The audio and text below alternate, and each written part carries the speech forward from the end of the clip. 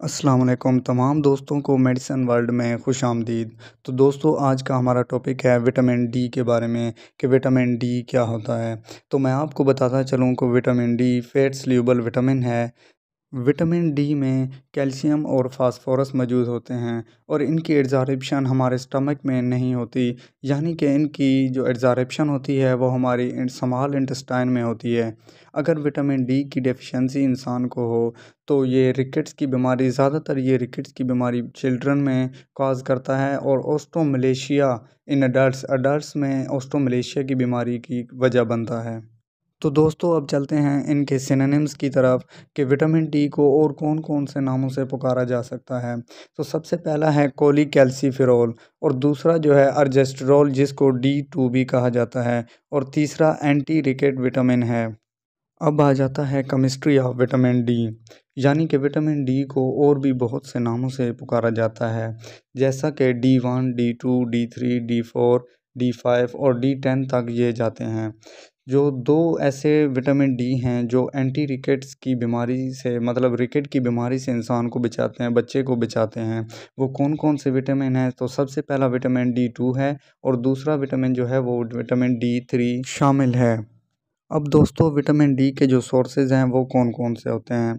तो मैं आपको बताता चलूँ कि विटामिन डी जो है is not well distributed in nature है। यानी कि कुदरती तौर पर ये विटामिन डी नहीं पाया जाता। इसको हम अपनी कुदरती, यानी कि जो सब्ज़ियाँ उगाते हैं, उनसे ही हासिल किया जा सकता है। या गोश्त वगैरह हो गया, या बटर फोर्टिफाइड मिल्क वगैरह से हासिल किया जा सकता है। और सबसे बड़ी बात जो विटामिन डी है, वो धूप में बैठने से भी अल्ट्रावायलेट रेज़ को एब्ज़ॉर्ब करने से भी बनता है।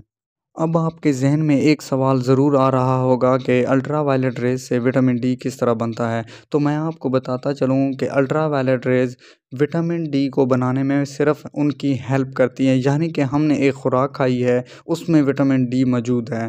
तो अल्ट्रा वायलेट रेज़ का क्या काम होगा? अल्ट्रा वायलेट रेज़ जैसे ही हमारे जिसम में एब्जॉर्ब होंगी तो विटामिन डी को फ़ौर ही वो कन्वर्ट विटामिन डी खुराक में से विटामिन डी निकाल के हमारे फ़ौर ही विटामिन डी में कन्वर्ट हो जाएगा और विटामिन डी हमारे जिसम में एब्जॉर्ब हो जाएगा। इस तरह ultra violet rays vitamin D को बनाती हैं।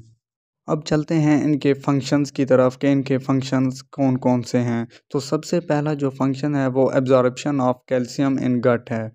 जैसा कि मैंने आपको पहले भी बताया है कि कैल्शियम की जो एब्जॉर्बशन है वो इंटेस्टाइन में होती है और जो विटामिन डी होता है ये कैल्शियम को प्रमोट करता है एब्जॉर्बशन करने में।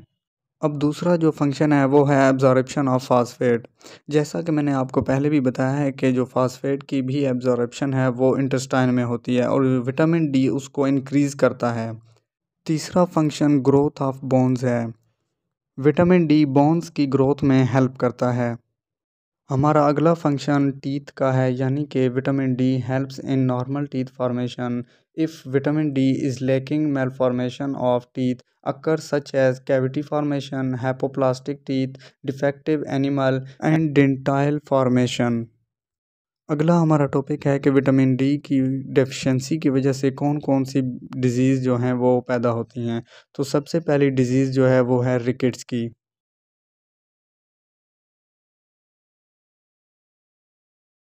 ये बीमारी डिज़ीज़ जो है वो काज़ होती है। तो सनलाइट की कमी की वजह से भी ये डिज़ीज़ जो होती है वो पैदा हो सकती है। और अगर विटामिन डी की जो मज़ीद डिफिशेंसी अगर आ जाए तो ये प्लाज्मा कैल्शियम लेवल को भी लो कर देती है।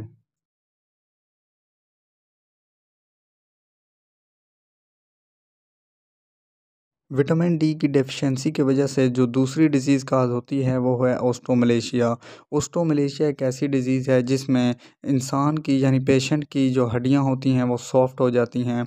आपने बाज़ दफ़ा देखा होगा, जो अमीर अमीर लोग होते हैं, वो विटामिन डी की टैबलेट्स खा रहे होते हैं। वो इसीलिए विटामिन डी की टैबलेट्स खाते हैं, क्योंकि वो तो बाहर निकलते नहीं हैं, बहुत कम ही निकलते हैं।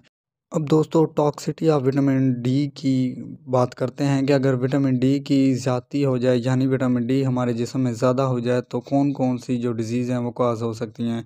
तो यानी हाई ब्लड प्रेशर हो सकता है which could result in nausea nausea हो सकता है कॉन्स्टिपेशन हो सकता है। आप हमेशा कन्फ्यूज़न का शिकार रहते हैं एबनॉर्मल हार्ट रेथिम और आपकी जो हार्ट रेट हार्ट रेट है वो एबनॉर्मल हो जाती है, और किडनी स्टोन भी बन सकता है। ये थी दोस्तों हमारी आज की वीडियो। मैं उम्मीद करता हूँ मेरी वीडियो आपको ज़रूर अच्छी लगी होगी। अगर वीडियो आपको पसंद आई हो तो मेरे चैनल को सब्सक्राइब कर दीजिएगा और बेल आइकन के बटन को दबाना ना भूलिएगा।